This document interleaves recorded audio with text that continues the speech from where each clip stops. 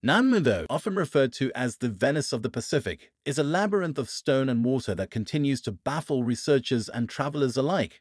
Nestled off the coast of Pohnpei, one of the federated states of Micronesia, this forgotten city is an engineering marvel made up of nearly 100 artificial islets constructed on a coral reef.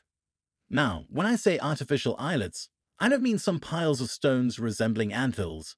No, these are colossal basaltic rock formations, some of which weigh up to 50 tons. What makes this all the more awe-inspiring is that these megalithic structures were built without the aid of metal tools or the wheel.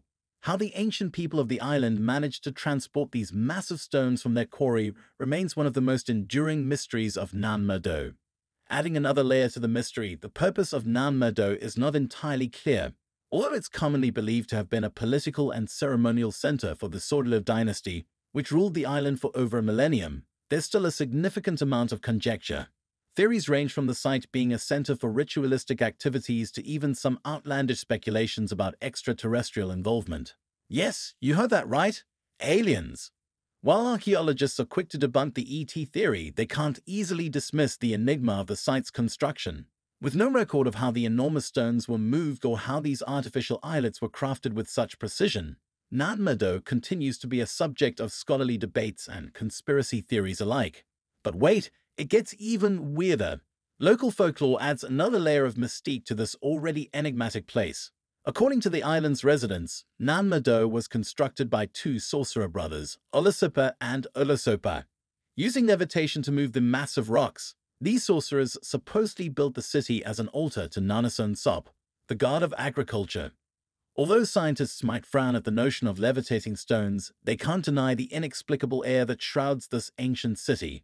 Many parts of the site remain unexplored due to its swampy and overgrown terrain, making it a gold mine for future discoveries. The Saudeleur ruled until around 1628, when they were overthrown by a man named Isokelekel. He started the Nahnmwarki era, which sounds like a really cool video game. The Nahnmwarkis lived at Nan Madol for a while, but eventually they had to move back to the mainland because they got tired of bringing their own food and water. Over time, Nan Madol lost its association with prestige and its population dwindled, but the site still holds many mysteries and cultural significance. Archaeologists have found artifacts like stone and shell tools, necklaces, and even kava, which is a plant with mild sedative qualities. So if you're an adventurer at heart, longing to solve an age-old mystery, pack your bags and head for Nan Madol. Just be warned, the local laws require you to obtain permission before venturing into the ruins.